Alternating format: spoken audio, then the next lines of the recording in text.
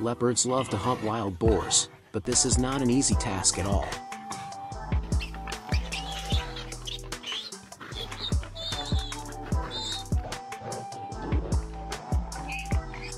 Wild boars are one of the most challenging opponents for leopards.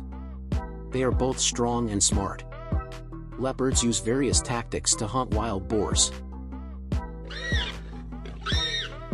They usually lie in ambush. They climb trees or hide in bushes, and quietly approach the wild boar. Then, they jump on the wild boar's neck or back with a sudden move and hold it with their claws. They try to kill it by biting its neck or breaking its spine.